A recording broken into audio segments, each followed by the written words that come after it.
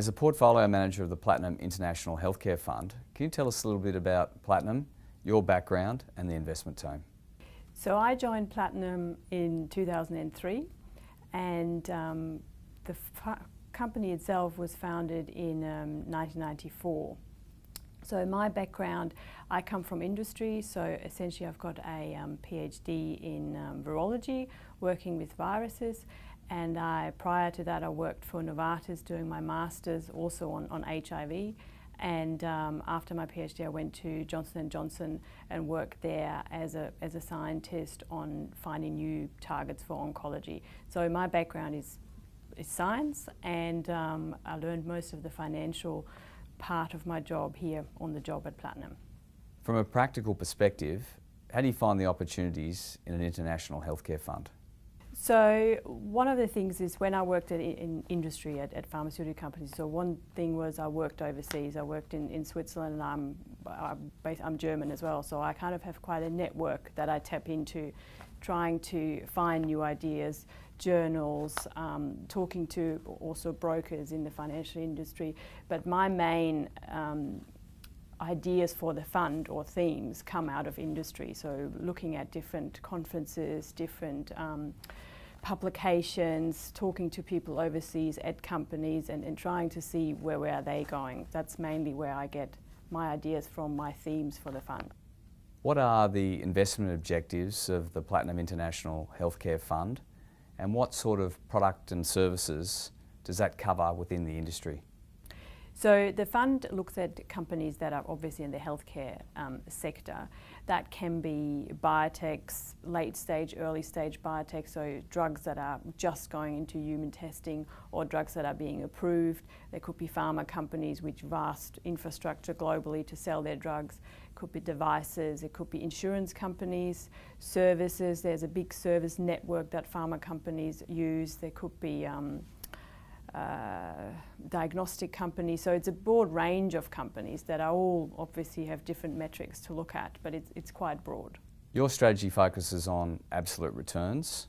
Can you describe your typical net investor position and how and why that can change? So usually what determines that is obviously valuation. So one thing that we had over the last five, six years was a big bubble, that now has turned to a bubble for biotechs. So we then chose to not be invested as much and took off profits where we felt the valuation was too high. So that was roughly, said around 70% invested. Once we probably now slow, we had a sell off, so we're now going to see a little bit more. So we then will move up to 90% invested. But as generally, it moves around what valuations tell us and what we feel is, is right in that sector. Can you talk through the investment philosophy behind your strategy?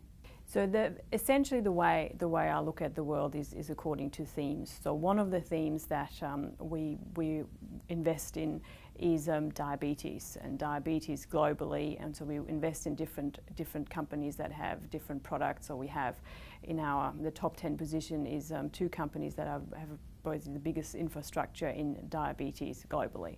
So that's a theme. We also have themes, obviously, in oncology. There's a lot of work going on in research labs in oncology.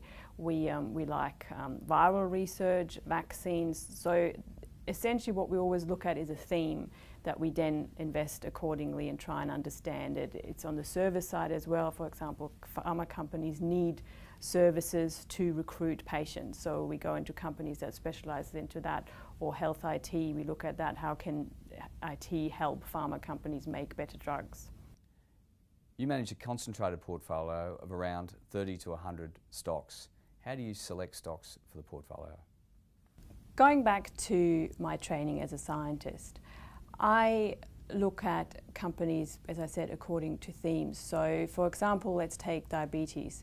I go and um, an example together of several companies that fit into that category and then I look at them one by one and try and understand their science, try and understand their product portfolio as well as their commercial abilities that they have. And then secondary, I go and, and, and look at valuation and see how that fits in in the current environment or in terms of their history. But overall, I tend to look at really each company, and if you then look at the universe of healthcare, it's actually not that big. And often these companies have these interlinked alliances or partnerships that basically make them all, it's a bit incestuous really. But overall, that's kind of how I look at it on, on who they are, and then secondary, I look at, at, at valuation and then decide do I want to buy it or not. Why should an investor focus on healthcare? Are you looking for the next cancer cure or hospital operator? I think one of the things in healthcare is that um, it's obviously about innovation. It's about, um, it is about biotechs. It is not necessarily about the next cancer cure, but it is about advancements in, I guess, medicine overall. What, what do we have in, in terms of how do we diagnose different diseases better? How do we treat rare diseases? And also about the big themes like diabetes, like hepatitis C, and, and all these things that, that obviously cause an issue, and these companies are there trying to solve them. So, so it is about um, innovation, I would say, rather than yes, there's maybe sometimes a service company in there or, or a hospital, but even in hospitals or services, there is innovation trying to make things better, look after patients better. So it is about that, and I think it is um, that's what the fund is about, about new technologies, new innovations. How do you manage risk in a healthcare sector, particularly in an industry associated with research and development costs, regulatory issues and legal issues? I think it goes back to how as a scientist you look at things so you're always much more conservative and you do pay attention to to details and try and understand and, and preempt risk really but in the end it comes to portfolio construction where you then say, well, I'm not going to have 5% in a um, early stage biotech. So you're much more then looking at pharma companies that are, have a low valuation, but you see the growth prospects. So these are much more solid investments.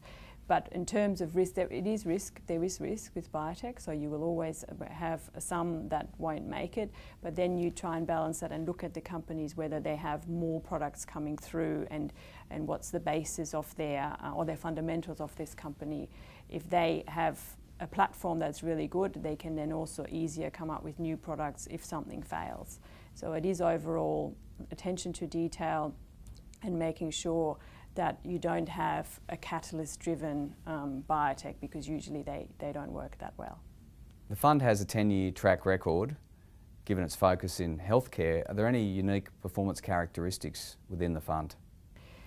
I think in healthcare, as I said before, you've got the, the biotechs can be volatile because of, of what they are and, some, and sometimes things fall over. But if you then look at a, at a 10 year or 15 year horizon, that will net itself out and it, it's quite a steady performer because of the innovation. And if you keep putting new stocks in with new ideas that then build up or, or come out of or be successful, then you get that positive performance out of that. Over time, I think the um, volatility nets itself out. What's the recommended time frame for investors?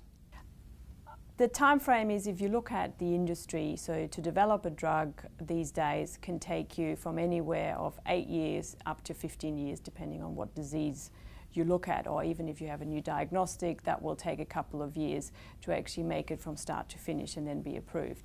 So I would recommend um, at least five years and um, really ideally more than that because of the lead times or the cycles of that industry.